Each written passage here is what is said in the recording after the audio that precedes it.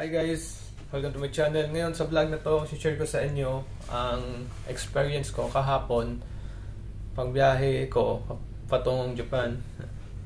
Uh, since maluwag na yung restri- restriction ng Pilipinas, so yun nga, tinanggal na nga yung face shield. Diba? Pero sa airport is kailangan pa rin mag face shield. Um, ang Japan din, ganun din sila, may nag-face shield, may hindi. Uh, parang sa tingin ko voluntary lang eh kung gusto mo, sige, go. Pag ayaw mo, edi bahala ka. Parang ganun lang. Pero, maluwag na yung, yun nga, maluwag na yung restriction natin. Tapos, nakapagbiyahe kami kahapon. Um, kailangan sa airport lang natin. Sa airport natin, kailangan na talaga yung RT-PCR ngayon. Valid for 72 hours. And then, of course, if if pupunta ka na ibang bansa, siyempre kailangan mong visa. Ah, is open na yun. Depende sa bansa na pupuntahan mo. Tapos, ang nadagdag lang sa ano natin, nadag, nadagdag lang is yung RT-PCR na 72 hours. Tapos, ganun pa rin yung proseso sa ano, proseso sa airport. Kahapon medyo maluwag, konti lang kami. One set apart kami sa airplano, papuntang ano, papuntang Japan. Ang mahigpit lang po yung pagdating sa Japan. Kasi lahat na nakasakay sa flight na yon uh, dumaan sa antigen test kahit na may RT-PCR ka na valid. Iti-test ka pa rin nila pagdating doon sa Japan. Kaya iniisip ko pagdating ko doon sa Japan is mag-toothbrush then mag-listerine. Mumug na listerine bago mag-antigen test Kaso, paglabas namin ng aeroplano sa bungad pa lang, may nakaabang na na health officer. Ayun, pinapapila na kami. So, walang takas po.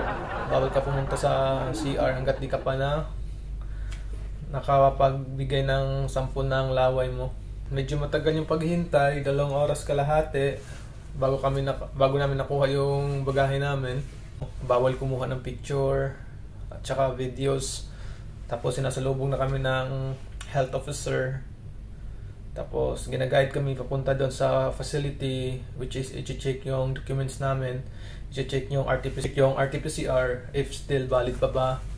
Uh, binavalidate nila yon Dinitignan kung totoo kung totoo yung dala mo na RT-PCR result. Tapos, check yung vaccine. Vaccine mo if totoo o na ano na vaccine talaga o na hindi fake. Then pagkatapos noon ipapat i papuntahin ka doon sa para may vote vote doon na may parang guide na ano na i, parang TV na maliit may guide doon kung paano pagkuha ng sample na ano. Ah, gaano kadami yung kukunin na sample ng saliva mo di ka pa rin pum ah, di ka pa rin pwede pumunta sa CR. But sa case ko, pinilit ko yung agent, yung agent na pumunta ako sa CR kasi iingiin ako since naghihintay naman kami ng result. Sabi niya, makapaghintay ka pa ba ng 30 minutes? Ang sabi ko, oo, oo naman, pwede naman makapaghintay ko ng 30 minutes kaso maiihin ako sa pantalon ko. Sabi niya, oh no good. Kaya yun, humanap siya ng way para makapag ano ako makapa makaihi. Yun. After nun pumunta naman kami dun sa ano health officer pa rin.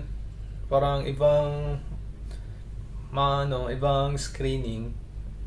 Chin-check chin-check naman doon yung app yung questionnaire app ng Japan. Chin-check yung na-download mo yung my SOS nila isang app may SOS yung pangalan. And then, pagkatapos nun, QR code ng questionnaire app, chine-check din nila, ini-scan nila doon isa-isa, kaming lahat ng ano, kasi pinakuha na yon pag check-in pa lang namin doon sa Pilipinas, pag check-in pa lang namin, bago ka bigyan ng boarding pass, dapat na-download mo na yung My SOS, saka nasagutan mo na yung questionnaire app, na kailangan sa entry mo sa Japan. Ayun. Pagkatapos noon, naghintay kami ng ano, pagkatapos lahat noon pala, pagkatapos lahat noon, dalawang oras kalahati bago dumating yung result namin. Hindi ko lang alam kung gaano ba, ganun ba talaga katagal o sadyang marami lang talaga kami nagsabay-sabay.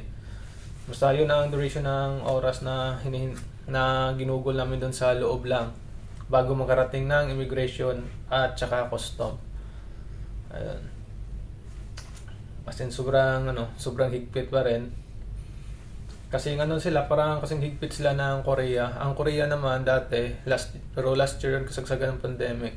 Pandemic, na kailangan ng ano, kailangan dumaan ka ng quarantine. Rin-require nila 14 days. Kaso sa case ko, 11 lang at ako nun. 11, pinalabas na rin ako. Tsaka isang beses lang ako na-swab doon pagdating ng Korea. Yun, sobrang higpit. Um, Singapore naman, ganun din, nahigpit. Sa airport, nagpe-face shield. Bawal, nagpe-face shield yung mga staff, hindi lang yung Pilipinas. Um, sa Japan, nagpe-face shield. Uh, Korea, nagpe-face shield. Pero yung face shield ng Korea is hanggang ano lang, level ng face mask mo. And then sa Japan, ang Japan is parehas na sa atin, buo. Tapos Singapore, mayroong level na sa, sa ano nila, sa face mask, mayroon din buo. Then, yun, mahigpit. Japan, Korea, Singapore, sobrang higpit nila. Based sa experience. Tapos, ang maluwag ngayon, ang maluwag is, yun, European country, uh, US, yun, maluwag sila. Kasi sa Europe yung iba din na nagmamask. Uh, sa UK din yung iba din na rin nagpa- nagmamask. Makita mo na pag alagalat sila. Tapos kung nagmamask ka, titignan ka pa nila, tititigan ka pa. Pa, sira ulo to ah. Parang ganun, joke lang. Pero totoo yan. Yun sa previous ko na vlog, kaso binura ko kasi uh, bawal po, bawal. Bawal kasi may nag-sign kami ng contract regarding regarding sa social media policy. So, ayun. So, yun lang po yung masishare ko. Kung may tanong po kayo, mag-comment po kayo below. Or kung alam ko, sasagutin ko. Um, thank you for watching my video. Hanggang sa susunod po na vlog natin. Sensya na po medyo kabado. Hindi pa po sanay sa camera.